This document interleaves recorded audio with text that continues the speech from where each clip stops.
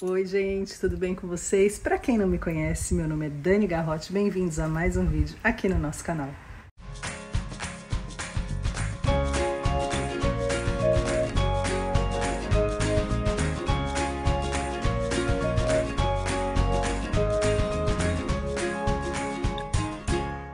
Então, gente, no vídeo de hoje eu ia transformar mais um móvel do banheiro para fazer uma composição para vocês, né? Vocês viram a semana passada, eu transformei aquele móvel, ficou uma graça e eu tenho mais um muito bonitinho para fazer a composição com ele no banheiro e fazer um tourzinho legal para vocês. Mas eu não consegui mexer no móvel essa semana, foi uma correria, muito trabalho, mas eu espero que a semana que vem eu consiga mostrar para vocês.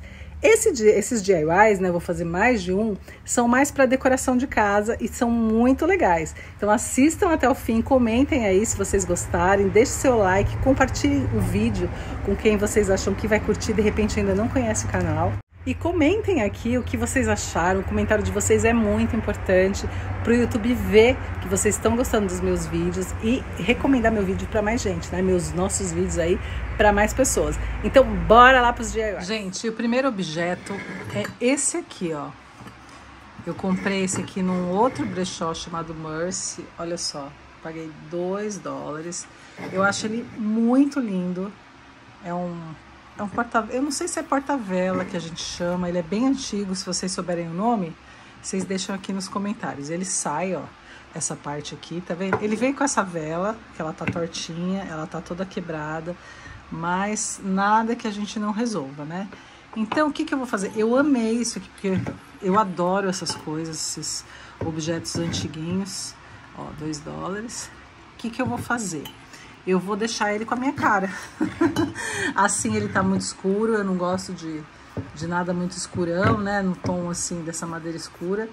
Então eu vou deixar ele a minha cara. Eu vou dar uma lixadinha bem de leve, porque ele tá com pouco brilho, ele tá com pouco verniz, ele não tá com cara de tá com, é, com cera.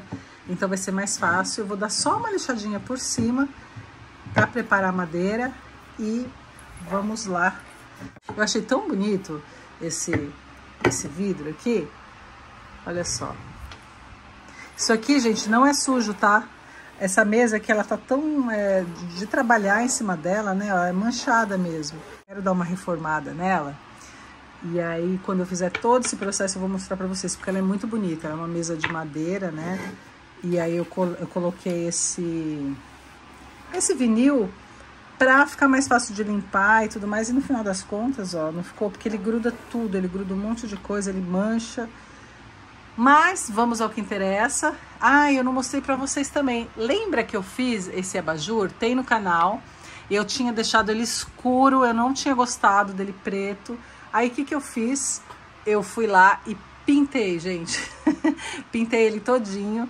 Tá vendo? Ó, eu achei que deu um charme todo especial para ele. Mas bora lá porque interessa, que é o nosso DIY. Então, vamos transformar esse, não sei se é candeeiro, se é porta-vela, se é, eu não sei o nome. Bora lá.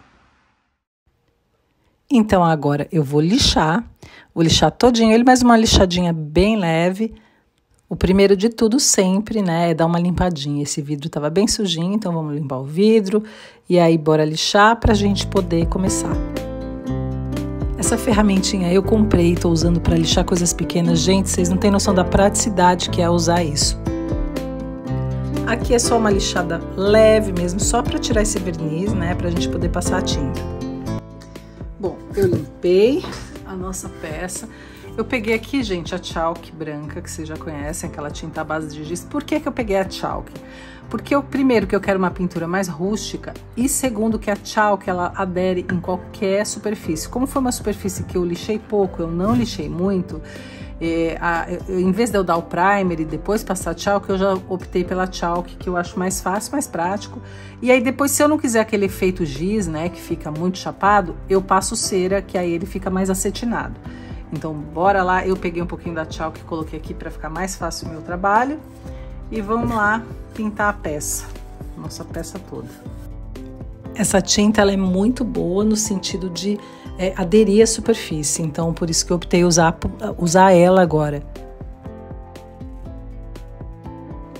Esse porta-vela, ele tem essa bordinha ó, de latão, né? Por causa das velas, da gente poder acender vela. E eu não quero pintar, então eu não resolvi não forrar, mas eu vou tentar não borrar para ficar ele aparente. Eu sei, pessoal, que a tinta Chalk aí no Brasil vocês encontram na marca uh, Acrylex. Não é uma propaganda, não estou ganhando nada por isso, mas é que as pessoas sempre me perguntam, né, se tem no Brasil, onde que elas acham. E é, eu sei que essa da Acrylex ela é muito boa. Tem outras marcas que eu sei também, não são baratas, tá? A tinta Chalk aqui nos Estados Unidos ela é muito barata, mas aí no Brasil eu sei que ela é bem cara. Só que para quem não quer ter esse trabalho de passar um primer antes, ela é ideal para isso, tá? Você já pode passar em qualquer superfície que ela adere super bem. Essa Chalk que eu tenho aqui, ela, ela tá escrito branca, ó, vocês podem ver o white, mas ela fica, é, é, ela fica meio bege, meio amarelada, e eu gosto porque ela fica com um tom mais envelhecido ainda. Eu acho que deve ter outro tipo de branco, gelo, alguma coisa que é mais branco mesmo. Agora eu vou fazer aquele distressed nós vamos é, desgastar né, a peça para ela ficar com cara de velha. Quem não gosta, né, quem tem um desse, quem tem algo parecido e quiser fazer alguma coisa nesse sentido e não quiser desgastar, não tem problema. Mas no meu caso, a minha decoração toda é assim, meio farmhouse, meio coisas envelhecidas, então eu adoro e vou fazer esse desgaste agora. Então vamos desgastar ela e aí eu mostro depois finalizada para vocês eu vou usar de novo isso aqui só para desgastar um pouquinho nas laterais. Como eu falei para vocês agora há pouco tempo, essa ferramenta é uma mão na roda, ela ajuda pra caramba, só que a gente tem que ter bastante cuidado, porque senão ela desgasta até a mais do que a gente quer e está, acaba estragando a peça. Então tem que ter, tem que saber manusear, tem que ter a mão bem firme para ela não escapar e não detonar a peça aí.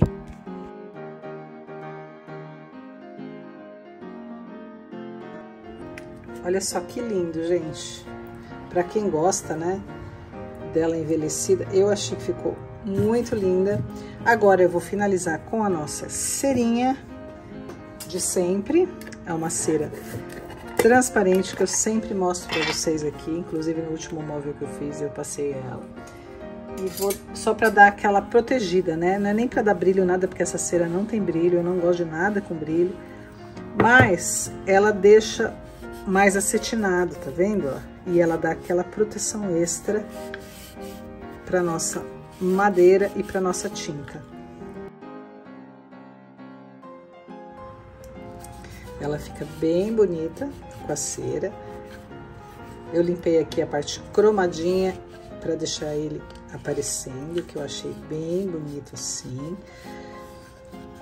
E daqui a pouco eu volto, a gente vai fazer mais um DIY, daqui a pouco eu volto com ele finalizado para mostrar para vocês.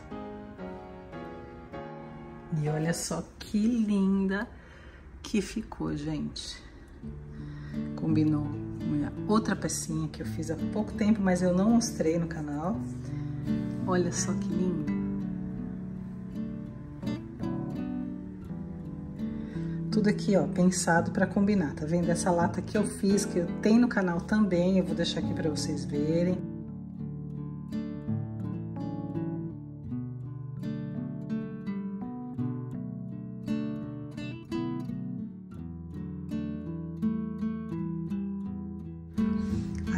Legal que tem esse vidro, que aí não tem perigo, porque eu tenho minha cortina aqui perto, né? Não tem perigo de pegar fogo, dá para acender numa boa. Vou acender para vocês verem. Essa mesinha aqui, logo, logo também vou fazer um makeover dela e vocês vão ver ela totalmente transformada.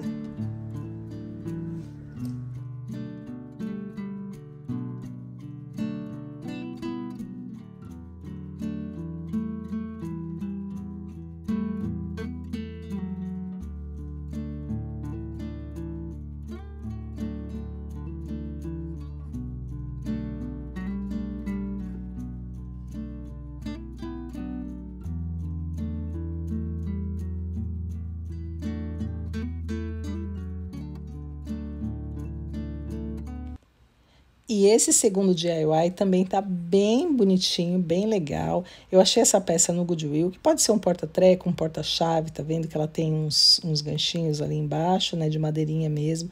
Ela tem uns nichos. Eu achei ela muito bonitinha. É, a minha avó tinha uns móveis assim que tinha um coraçãozinho, ela tinha um jogo de mesa de sala de jantar com as cadeiras todas com coração assim. Eu sempre achei tão lindo. Quando eu vi essa peça, eu lembrei dela imediatamente. E aí eu resolvi trazer para mim e vou dar o meu toque, vou dar o meu estilinho farmhouse. E no primeiro momento eu não ia mexer, porque eu amei essa cor dessa madeira, olha o preço dela. Eu paguei R$ 5,99 no Goodwill. E eu amei essa cor de madeira, esse tom claro, então eu não ia mexer, mas eu vou dar uma desgastada nela para ficar mais a minha cara. E vocês vão acompanhar tudo comigo. Então aqui, gente, eu decidi dar uma sujadinha nele com pincel de branco. Vou deixar nessa cor, mas eu vou dar uma sujadinha. Então aqui, vou pegar chalk, peguei esse pincel, que, ó, tá vendo? Tá escrito que é para DIY mesmo. Ele é super bom. Eu não sei se esse é o pituado Brasil, que o pessoal chama, esse meio arredondadinho, né? Eu vou molhar ele aqui na chalk. Molhei demais. eu vou molhar ele aqui e vou secar ele, porque eu quero só sujar, tá vendo, ó? Ainda tá... Eu quero dar só uma sujadinha, ó, tá vendo? para transformar, só não deixar ele muito amadeirado.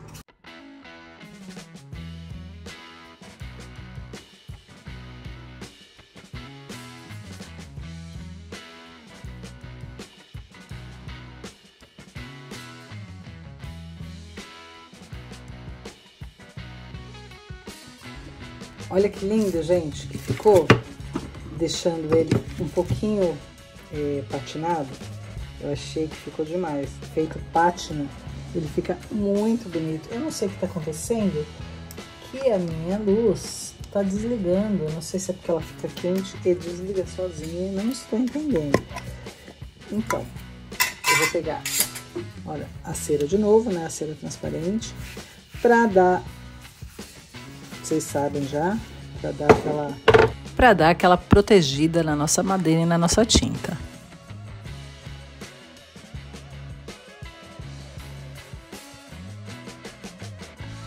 Então, dei essa finalizadinha com cera e eu já mostro para vocês como é que ficou essa linda peça que eu achei lindinha na minha sala de jantar.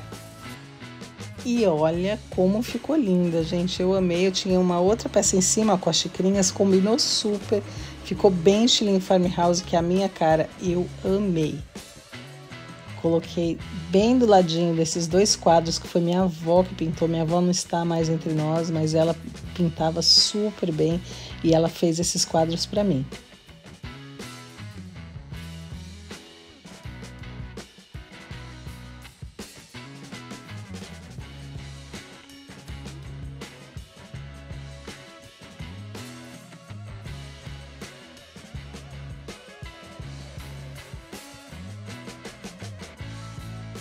Gente, outra peça que eu tenho é essa daqui.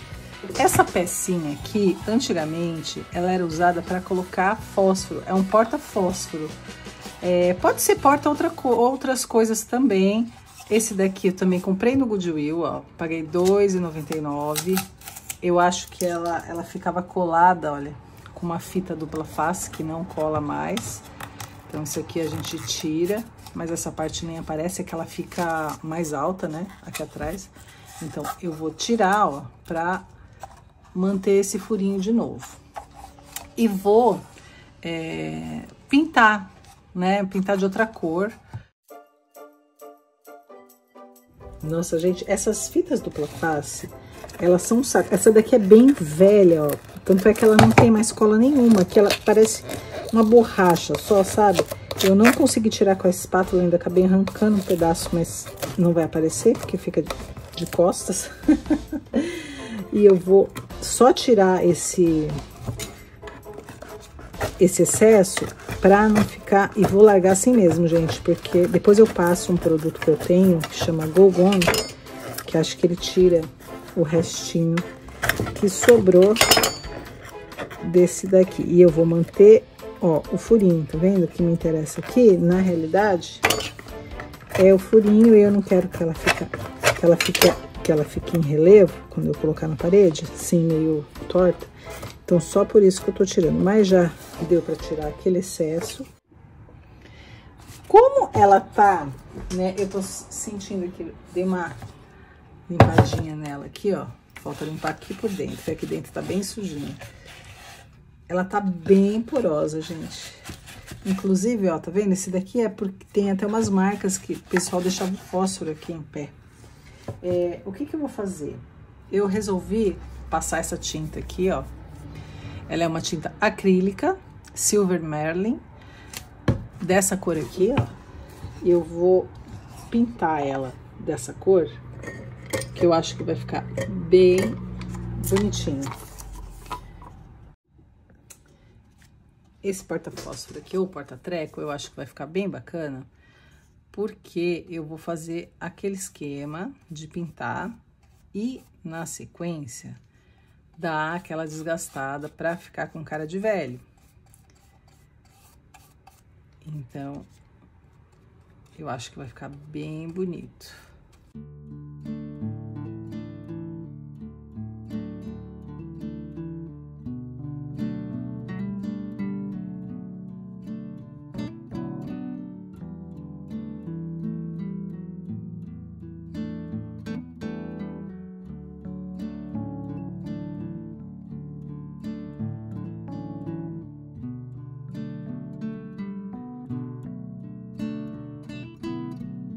E eu tenho aqui uma pecinha dessa que eu compro na Hobby Lobby.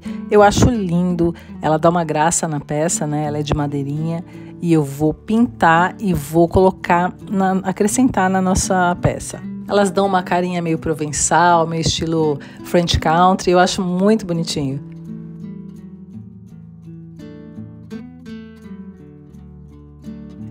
E eu vou pintá-la todinha de branco para contrastar com a nossa pecinha que é azul, vai ficar bem bonitinho.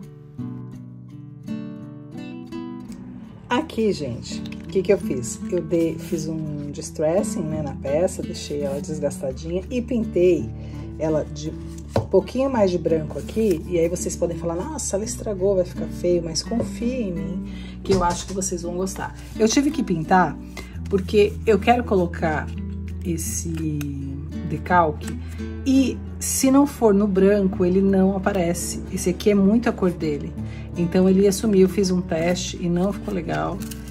Então eu resolvi pintar de branquinho para poder colocar esse decalque e ficar bem bonitinho. Olha que coisa mais linda esse decalque. Agora para transpor, né? Transferir, que ele é um transfer para madeira, eu tenho que raspar Parece a gente na época, não sei se vocês lembram daqueles álbuns de figurinha da Mônica, que tinha os personagens da Mônica, que era tudo transfer, vinha com um monte de transfer pra gente transferir.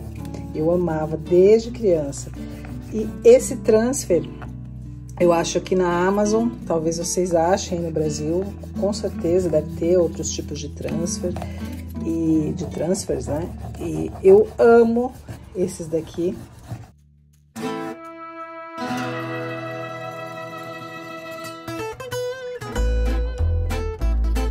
E olha que lindo que ficou, gente. Se eu não tivesse pintado de branco, não teria feito, não teria aparecido, não teria esse efeito tão bonito como dessa cor aqui, né, que é quase a cor dele. Olha que lindo que ficou. Agora, para terminar, nós podemos fazer aquela graça que a gente gosta de fazer no final. e a graça qual é? É a gente colocar mais um, uma coisinha para dar um charme. Eu tô pensando em colocar aqui, deixa eu ver aonde fica mais bonitinho. Eu acho que qualquer lugar que eu colocar, ou aqui, ou aqui, vai dar um super toque. Eu vou colocar aqui, que eu acho que vai ficar bem French Country, um estilo é, meio afrancesado, né? Então, eu vou, o que que eu vou fazer? Eu vou passar a cola, é, essa cola tipo Super Bonder aqui.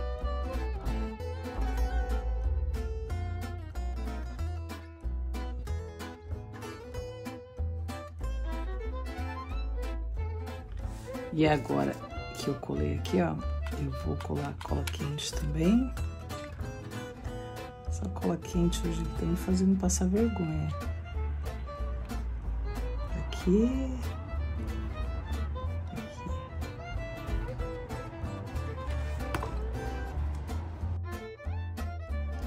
Agora eu vou ajeitando ela, né, para ela não ficar tortinha.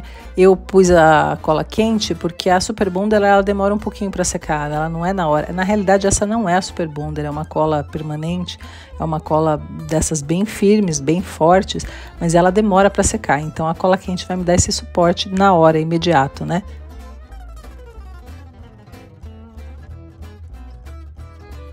E agora eu vou finalizar com a cera, com aquela cera transparente para dar aquela protegida, né, no stencil aqui no transfer, na realidade que eu fiz, e na madeira toda, é mais fácil de limpar também.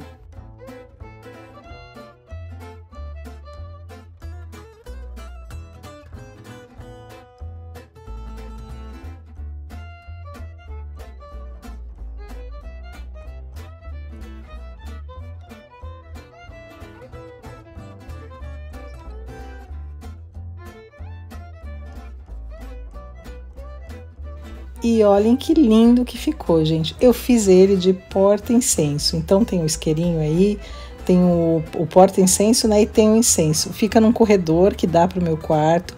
E aí vocês vão entender por que, que eu pus aí. Então aqui a gente está no corredor que vai para o meu quarto. Eu tenho uma vela aqui. E aí quando eu quiser acender a velinha, é só ligar e acender. Então ficou bem funcional esse porta-treco aqui. e ficou bem bonitinho, né? Combinou com a minha decoração aqui. E esses foram os três vídeos, né? Os três DIYs de hoje. Me digam aqui nos comentários quais vocês gostaram mais e qual dos três combinaria na casa de vocês, que eu vou adorar saber. The past is where it stays, way back a year ago. I've changed for the better this time. I thought I would never be fine. I strive just to say I'm alright. And for the first time in a long time I'm alright. I've seen a lot of change Been through a lot of pain. Some things are not the same As they were a year ago but all will be okay. I move on each and every day. The past is where it stays Way back a year ago